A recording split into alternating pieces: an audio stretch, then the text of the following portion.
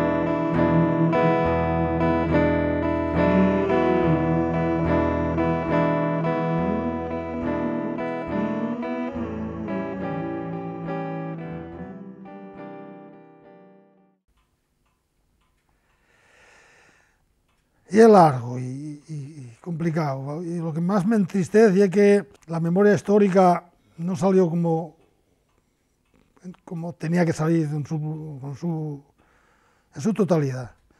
Y que, no sé, que se tiene miedo a hablar del pasado. Se tiene miedo. Entonces la juventud hoy no lo, no lo sabe. No, no, nadie os lo dice. Y si me sienten a mí a hablar o otro, y dicen, ¿qué, me cuentas este paisano a mí? Estos, estos vergenales, ¿qué, ¿qué, me cuentan? Y no te lo cree.